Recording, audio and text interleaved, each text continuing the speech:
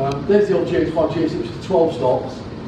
And we've got, um, that, that works out about 8 stops under middle grey, shadow range, just over 6 stops above middle grey, yeah, 18%. Loads of dynamic range to use in video with the, the S1. Already the S1 is doing brilliant. In the sweet spots, in the ISO range, dynamic range, the S1, the yellow one, Panasonic Lumix S1, against the current market leader, which is the A7 III Sony, we are in the sweet spots we climb around in the 360, 400, all the way to 1600 for um, the standard profiles, already better in performance in those settings than other cameras. Is that the leader? can I- can I Never quite the same as anyone else, or Sony certainly everywhere else. Sorry, yeah, sorry. don't know nominally, between 400 and 800, where that shop is, is that 700? Well, around here, Yeah, well, it's 640, it's it's got half size, so we just measure around half. should know that, but Yeah, so 400, 640, 800.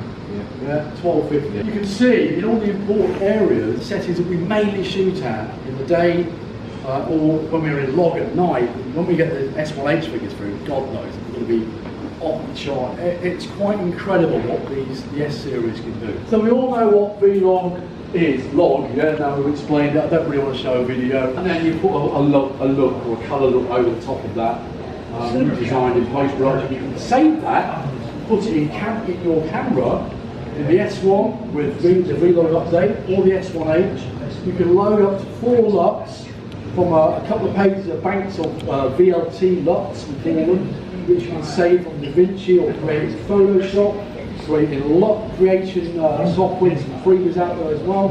I create a lot of LUTs, other companies do as well, under Vlog. I've transformed a lot of uh, Arri LUTs over as well to Vlog just to test out. And I'm really amazed by the performance of the S1H. The colour science really does come alive. But anyway, without that going on for a bit, you can see that online. What is Vlog? Look it up on YouTube. So we're talking rich primary colours. There's that what would say 18% middle greys around there. So we've got six or more stops on the S1H. Yeah, look at the Varicam, yeah? We're equal to a, a 30 gram Varicam camera, the Varicam uh, 35 we're equal there. We're actually bigger than the EVA1. And then minus eight stops under the shade. Need more for the shadows, just the way it is. That is how we measure under a long curve the proportion of what is being used from middle grey, yeah, all the way up to the highlights. Black, black's down here, middle grey, highlights at the top. And this is how all cameras are judged. GH5 only 12 stops. That was eight and four. Eight under, middle grey, four above. Any questions on dynamic range? And there it is. I was talking about earlier on about on the chart. What does it look like? Because this is the 10-bit values of VLOG and the 10-bit values of log C against each other. Look how close we are. We're actually closer to C-Log on the Arri wide gamut with VLOG V gamut. We are closest to them than any other camera manufacturer. What does that mean? The Arri Alexa is the number one camera in Hollywood. It's the number one camera in, in Netflix. We've just been given Netflix accreditation for the S1H as an A camera. There's no other mirrorless camera out there which can do that. It's, it's been given that accreditation. We can mix and match the look of the Arri very easily with the S1H. It's insane. I've been doing it. A mate of mine runs the rental company. I've been using some footage from the Arri, and I've brought it in with uh, similar footage with the S1H, and I'm totally knocked out how similar it is, and it's a tenth of the price. And yeah, there's the, the, the Arri Look library. Uh, I've, uh, I've even looked at using the Arri Look library, which you, you can download online. There are a couple of LUTs they have on the Arri Look library. And if you transform them with a, a, a few of the uh, freebies like the LUTCalc on, on the web, transform into Vlog, and you'll see absolutely amazing how close they are. Um, I've been also doing stuff with raw photography, trying to capture all that dynamic range from a 14-bit raw image and seeing how Vlog matches up, um, or how Vlog matches up with photo. I've saved JPEG on the timeline, but sort of demonstrate the colour. That's great Vlog. That's how it looks when you put a particular LUT on. I'm going to show you a few LUTs. It's. So that's a photo from raw to JPEG. That's how Vlog LUT looks. Now we put the LUT on like photo I've created, and it's identical to a raw image. It's so close. I'm sure you'll agree. There's not much in it. Yeah. It's pretty. It's pretty darn similar. Photo, light photo dripping light. Yeah, very, very little in it. And that's not even been highly tuned. You can tune these in a, in something like DaVinci Resolve or any colouring program. This is some Arri Lottie libraries.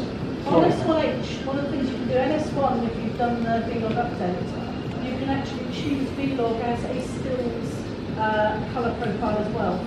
So if you are doing behind the scenes stills photography, you can shoot your behind the scenes stills in, v, in Vlog colour format so that when you come to, to grade and match, you can make you can very easily grade and match your Grade back um, between different yeah, cameras, between the- and between different And that was the whole point of this exercise, Yeah, Carol, to make these lights to prove Yeah. that we can get that same colour science. that, be, that, that behind the scenes, that behind the scenes photography can be done on the on, on the same camera. Yeah, so there's a number of different looks I've created, and these are available on my nickdriftwood.com. So I've got some freebies up there from the try them out. Got a, if you guys use Vlog in any way, shape or form, but also do sell a few. Uh, I've, got, I've got a package for over 100 LUTs in what I consider it's taken me months to do the best LUT library out there today. Even better than the, the Varicam freebies, which Panasonic do give away. 35 is it LUTs on there? So, yeah. There are some nice ones, mine. There's one called um, Nicest 709, Yeah. Which is uh, on the. Varicam LUT library. So that all the cinema uh, LUTs work really well with the S1H on Panasonic as well. But don't just listen to me or other LUT providers. Panasonic do give a lot of stuff away free. But I was particularly interested in, in getting that Arri look, that, that the whole purpose of designing LUTs which match the cinema look and raw photo. So yeah, I mean, it's just with skin tone as well. I mean, in fact, sometimes they're even better than the, the video on the than, than the raw. You can see massive, massive similarities. And then obviously the other thing, a lot of stuff like that online we can have a look at. Anamorphic. Now, hands up anyone who's shot anamorphic before? Anamorphic lenses?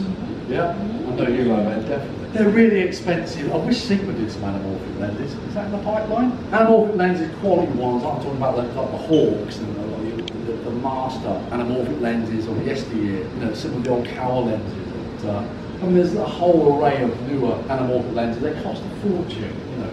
And what I tend to do, uh, even from the, uh, the, the GH series, the Micro Four Thirds series, and other cameras, you know, I've been just using projection, anamorphic projection lenses, like this is a Kowa B&H times two. It's a times two squeeze, yeah? That means an anamorphic lens, looks like a, sort of, a tiger's eye or a cat's eye, yeah? Um, it can squeeze using the full resolution of the sensor twice as much information into that area. So when you de-squeeze, it, you've got twice the width, but enjoying the same focal length of the, the, this is the holding lens, or if you're using a dedicated anamorphic lens, the, the focal length of the anamorphic lens. So, for example, this one, I mean, here's an example shot with this. This is the 7200 Panasonic lens, f4. I use it as a holding lens. I set it to 105, so there's no vignetting. And I've got the Bell & Howells times 2 anamorphic, an old lens. You can pick these up anywhere between 800 to 1500 quid. Anamorphics cost a lot of money. There are cheaper ones out there, I don't know what you're using. I was using Schneider, and Cinelux, similar to this. Yeah, similar, yeah. They, they make similar ones. Power badge, they're different badge, but some of them are the same, the 16, or whatever. Sankor, that's what I imagine, that's the Micro Four Thirds And there's, also the Rectilux that goes on top where you can the single focus solution. There's- Yes, yes. There's loads of sites out there who recommend old projection lenses. And some of the glasses, particularly this one, uh, and some of the stuff you've been using, it's really good. You can get the same flaring, that light, that horizontal flaring, that blue flaring, and shine a light in it. Yeah? Like you see on the big cinematic films, and you see a car coming, and then this big blue streak as it arrives on the forecourt. That's that sort of flaring that anamorphic gives you, horizontal flare. It gives you the oval bokeh. So uh, when you're like objective field, you get a nice oval, the round things appear oval. And it's an aesthetic that a lot of cinematic uh, filmmakers like. Um, and I think if used sparingly, it can work really well, as you saw in that film there. You know, you can mix and match traditional lenses with uh, anamorphic. And if you watch the rebooted Star Trek films, whenever they're on the bridge and the consoles are out of focus behind, you will see absolutely archetypal blue horizontal flare behind everything. Once you recognise it, as soon as you see it, you never don't it.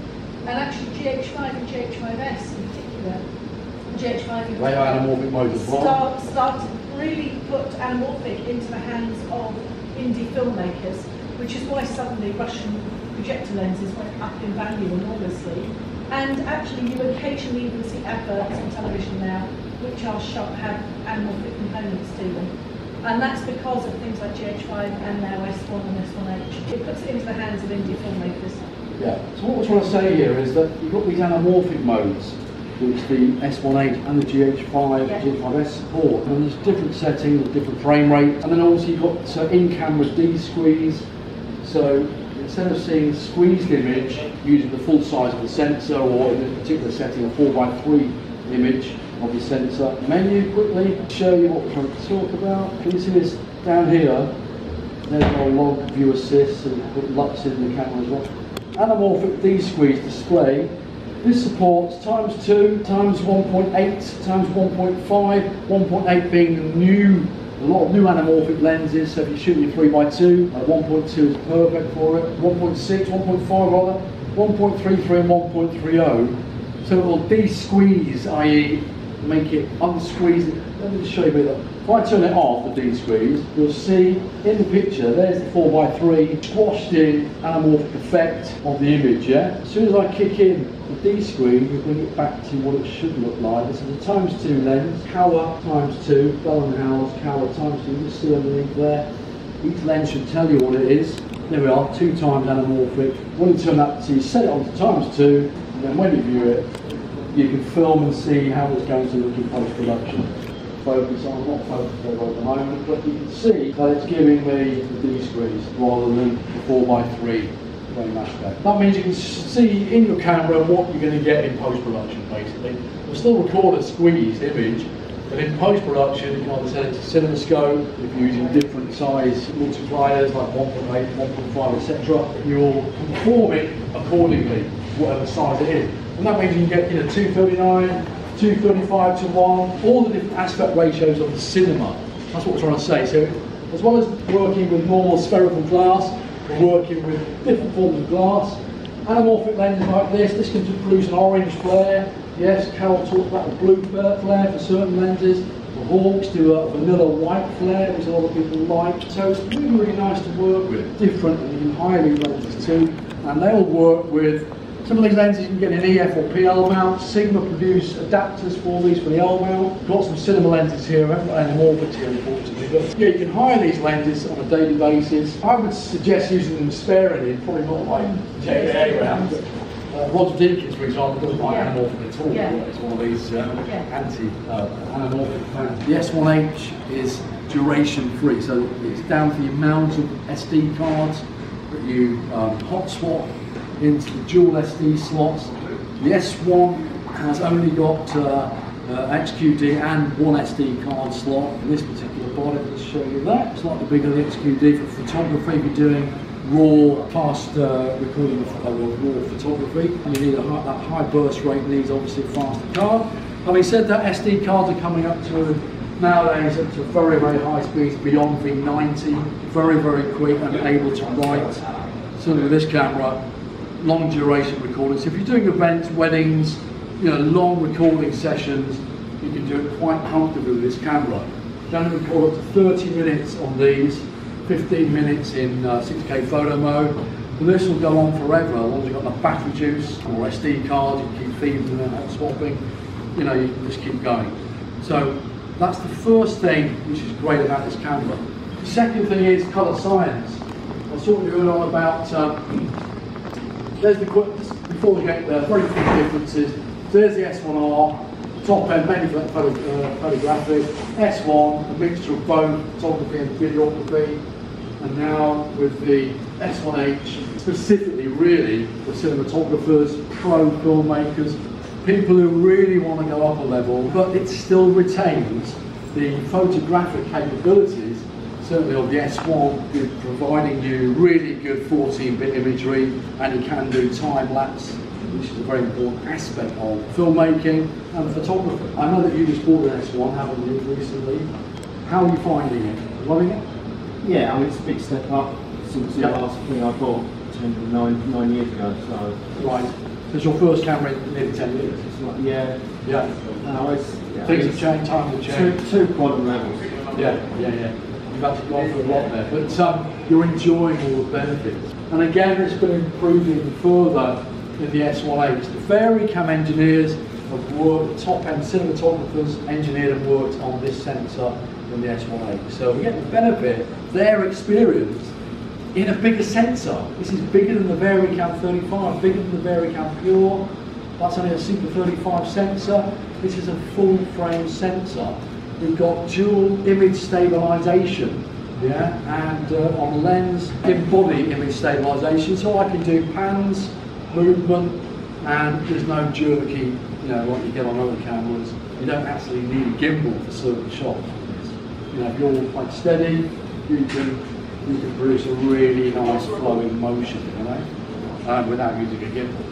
Of course, people do like using gimbals if they're doing a lot of faster movement, there's every good reason to use them. But there's other functions uh, which I want to talk about today, which really bring this camera up to the forefront. There's the chief differences between the S1R photographic camera. It does do a little bit of video.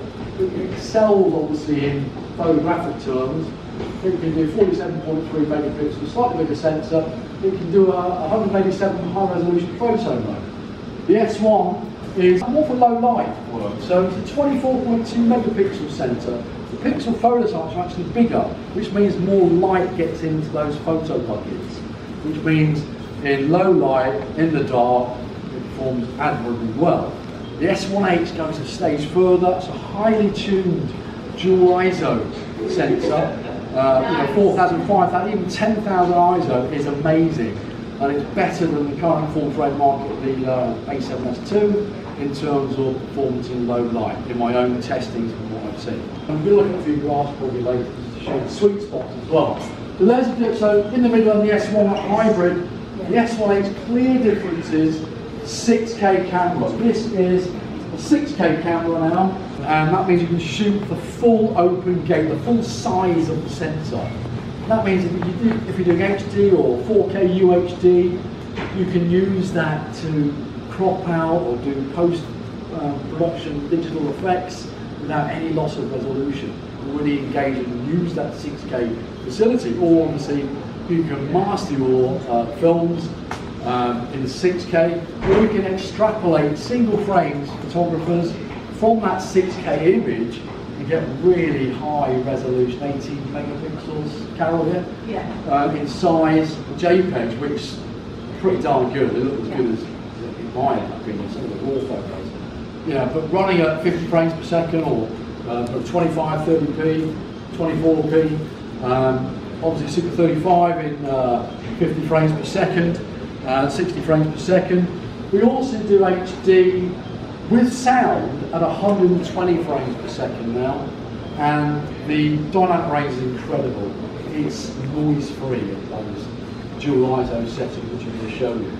120 at NTSC mode, 100 in PAL mode. You can switch this with the frequency range um, from 24 cinema mode, uh, 50 hertz PAL mode, 60 hertz NTSC mode. And that comes with a host, a plethora of different codecs and frame settings, which we'll show you shortly.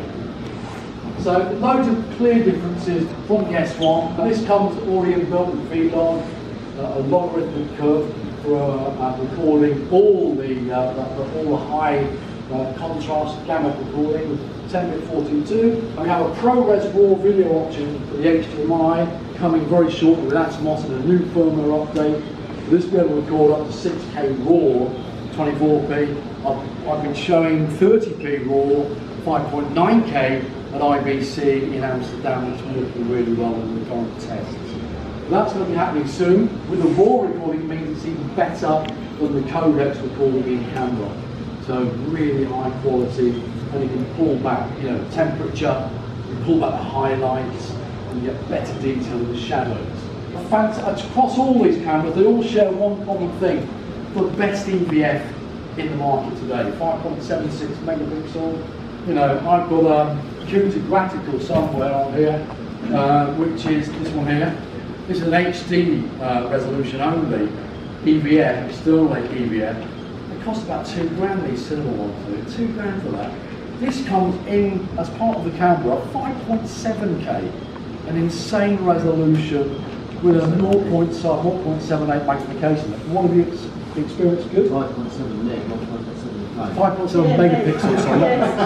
5.7 megapixels, that's only HD, 1920, 10, So if you haven't had a chance to look through, this is the S1, but the viewfinder is identical. Pass this X1H RAM as we talk. Oh, hello. I'm Ed from Sigma. I'm the events coordinator for Sigma. Thank you for coming. Thank you, Carol, for inviting me here to talk a little bit about Sigma and L-Mount and the L-Mount Alliance. Quite an interesting thing in itself and what itself. A little bit of history about Sigma, if I may. To do this. It was Founded 9th of September 1961. So celebrated our 50th year just last month. Well, Tahiri Maki-san. The full story is he um, for an optics manufacturer, primarily involved in an optics. Optic manufacturer after the war was very important to the. Uh, big export provider. The company is working for bit of financial difficulty around about the same time the management partners appeared. And the people uh, that were backing enterprise recognised Mr. Hero's skills as a- optics designer Right into his own business up with their backing obviously. There's nothing like micro.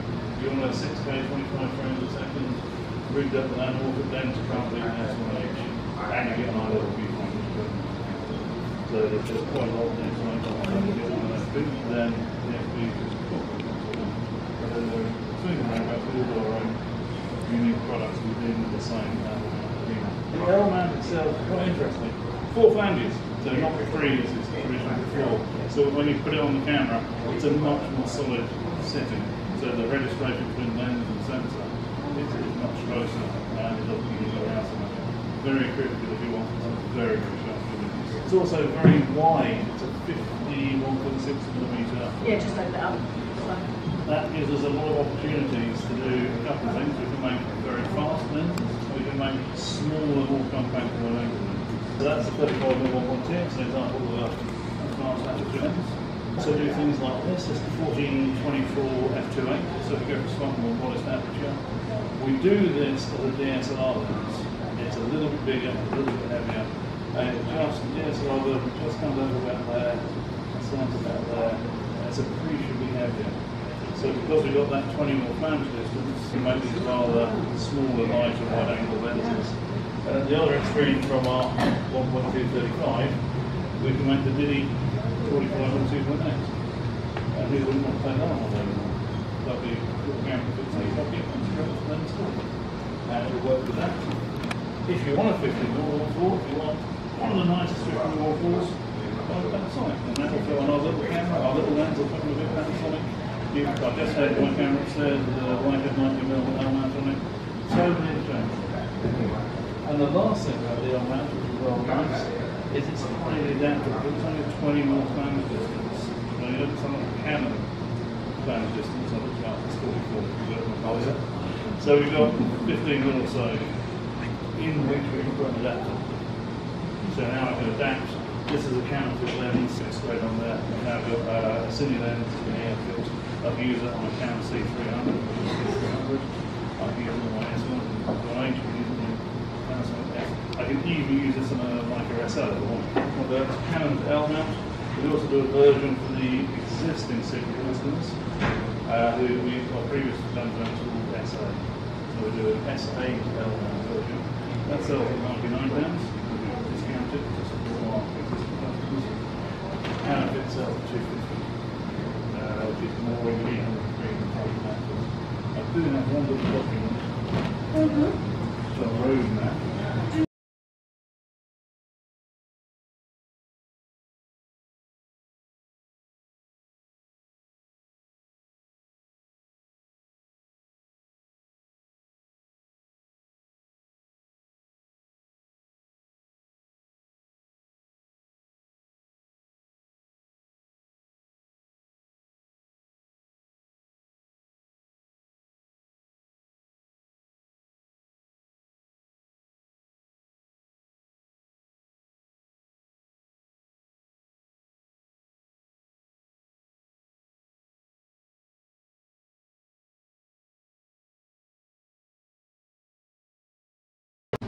Premiere Pro, okay, at 4K, as long as I don't try to do anything too, if I'm not up at 150 meg.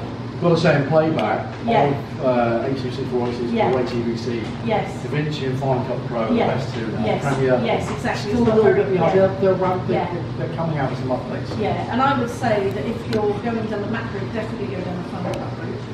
Yeah. Um, uh, You'll have to, if, you, if you're doing Apple ProRes RAW, you have Yeah. to do Final Cut. So there's there's three really three big pieces of software that All right. are in general use. Having said that, Yeah. uh, on the PC, Yeah. Edius does support Oh yeah, ProRes RAW. yes. So uh, Adobe Adobe uh, Premiere. Adobe Premiere, Yeah. Nobody wants to do that. Apple Final Cut Pro, Testing. which is for the Mac, and DaVinci Resolve.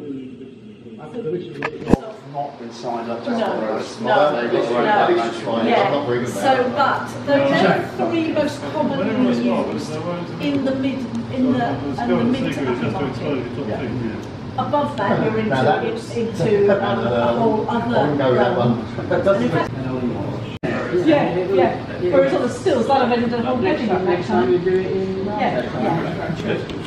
Um, you know, just- Guys, I'm just going to uh, call, call order a little bit. Believe it or not, it's actually quarter past four, which is amazing. Um, uh, we're running out of time because we're going to finish in a few minutes. Uh, going to talk about ProRes RAW Yes. very quickly. ProRes RAW is a variable control codec. Um, it's actually as efficient as 42HQ. It's incredible. Um, it's, it is a compressed RAW codec, um, but because it is variable, we don't know if it's going to be 12 bit or 10 bit or whatever yet. We don't know. Yeah, confirm. we're waiting to. Um, but um, it will be, uh, I've been using it on the EVA 1 5 5.7K on the EVA 1 through SDI 6G, and it's absolutely beautiful to work with. Um, So RAW is an up and Yeah. coming format for video. Um, it's in the high end of video a lot, uh, but it takes a massive amount of processing and storage. This is EVA 1 mixed with S1H and a few drones or whatever. Uh, shot in, some of this was shot in ProRes RAW on the EVA 1. And I was going to show you, uh, this is online, this is some, uh, I'm working with a company called Faustus. We've got some daily, put together quickly the Lux. There's the S1H in time. But that, we can pull back the highlights. This is shot midday, by the way, blue sky, bright sun. Um, and then to show you what I mean by bringing back the highlights, there's on an LA timeline video. So this is what saying This is Final Cut Pro, which handles that Pro as that well. back, that back. Look, I'm moving this along here, I just want to show you, that highlight recovery, temperature recovery, light recovery. Um, Yeah, that's how it was it seen in the monitor. Look at those blown out. Here we go. Bring it back in, details still there. Apple Pro Absolutely I've got really dim questions for you. Yeah. Um, I Take get the temperature. waveforms. I Sorry. waveforms. Yeah, The one above, vector scope. vector scope. Yeah. Oh, I'm, I'm asking you what's going to be an enormous question. Simple What answer. So, do I need, if, for it to be neutral, is it just in the middle? Uh, pretty much so, yeah. Okay. What that line. That's your skin tone line. Oh, You always push your colouring around to the skin tone, you literally hit that or just above it. That's how skin tones are affected. Okay. People use vector scope. You don't want to be any out to this in squares. yeah. Uh, the RGB and the secondary colours, don't go outside of those, that's just blowing out the colour. You, you, you'll find on a spectroscope that the colours are going all over the place. We So have if the we keep we it have vector within scope on the. GH5S and on um, S1H again, but I have no idea how to use it. Uh, with Apple ProRes, uh, with Final Cut, you've got uh, full use of uh, control of you know, the luminance, um, you know, the shadow, highlight, mid-tones, uh, the dial control, which you can see in DaVinci. Uh, they all do it their, own way. Um, but yeah, I mean, really, really easy. Stick on a lock, camera lock, uh, Panasonic V-Log at the end here. I think I've got one of the LUTs of mine, which going on to the end. Is this video also available online, or is this one of your training This is, videos? well, I can send you this now if you want. Yeah, no, no, don't send it to me That's a grab of, um, that's me just picking one of my over 100 vlog guns I've done, um, dropping it in, and you can see it goes in overlaid on RAW, so Apple ProRes RAW, yeah, it, it comes in as vlog in Final Cut Pro. You drop a lot on it, and then you can pull back the height, you can pull back the temperature, and obviously your shadows and highlights, you can do what you need to do. Um, but yeah, I mean, it's not particularly good like that for this particular scene, but it's just showing you and demonstrating um, how easy it is to get around Final Cut Pro with Apple ProRes RAW. And That's what it's released. Well, you could put up your details so that everyone knows. Yeah.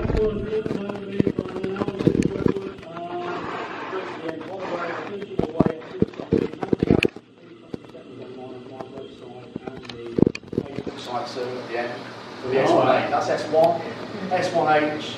Very quick, to fast settings to get into slow mos, the HFRs, VFRs, and all these different animals if you want them. It's on your website now, is it? Uh, the old, the S1 set is, the S1H S1H, set, yeah. I'm nearly finished. The S1 set is free to download on my site. Brilliant. Um, I'm going to go through, yeah, that's what happens. Get, remember, you have angles in the S1H, so the 180 degree shutter, no matter what frame you break you put it at, it'll always double it.